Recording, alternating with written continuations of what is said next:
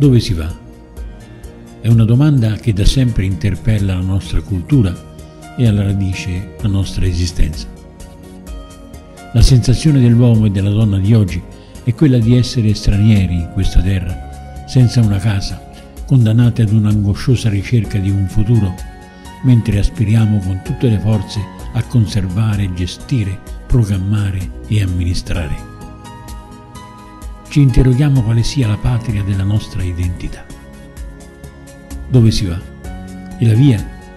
C'è una via per questa patria? Ci sono sentieri per questa meta? Ci sono strade in questo deserto? Spesso ci viene da dire con l'Apostolo Tommaso, se non conosciamo la meta, come possiamo conoscere la via?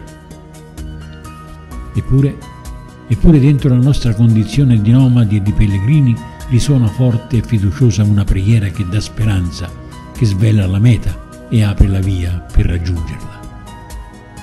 Io, Cristo, sono la via. Non siamo gettati nel mondo, non siamo condannati all'esistenza, non siamo abbandonati al caso e non esistiamo per la morte. No, siamo invece un progetto di Dio che è disegno di amore. Ci sono molti posti nella casa del Padre e Cristo ne ha preparato uno per ognuno di noi, irrepetibile, esclusivo e riservato, col nostro nome già scritto con l'inchiostro del suo sangue.